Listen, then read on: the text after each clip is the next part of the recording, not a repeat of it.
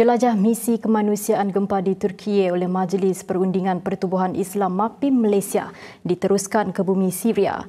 Situasi bergolak di Syria menyebabkan kemasukan ke negara itu bukan satu laluan mudah sehinggakan aktivis MAPIM Malaysia terpaksa menunggu kelulusan yang memakan masa berhari-hari sebelum boleh merentasi sempadan Rayhan Lee ke Idlib dengan bantuan agensi wakaf kerajaan Turki, Turkiye Diyanet Vakfi.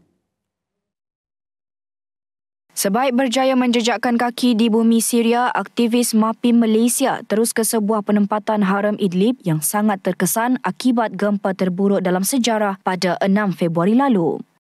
Dan insya-Allah MAPIM komited untuk membantu keluarga-keluarga yang menimpa bencana ini dengan menghulurkan bantuan berskala besar iaitu 30 kontena yang mengandungi uh, ubat-ubatan, pakaian, makanan kemah untuk kediaman sementara mereka dan juga heater sebagai alat pemanas kerana apa?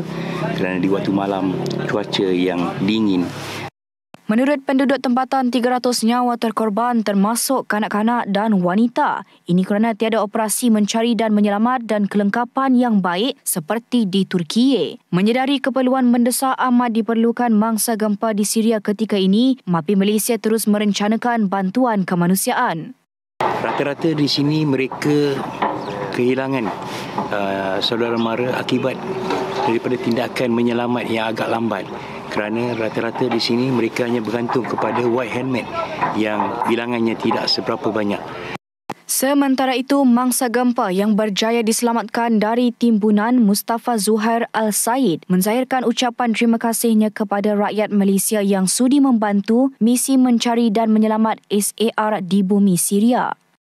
كل الشكر للشعب الماليزي ونتمنى للحكومة يعني أنه تنظر بأمور هالناس ويساعدوا كوني أنا وثلاث عائلات نجونا من هون وما تبقى كله مات نتمنى تساعدوا هالناس هالعالم. كوننا أنه بدأنا حياة جديدة لم نمتلك شيء.